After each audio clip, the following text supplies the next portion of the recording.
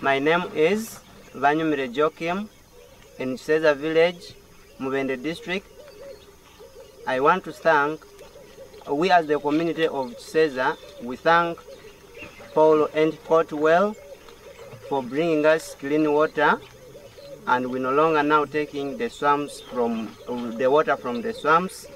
May God bless you all. You can clap hands.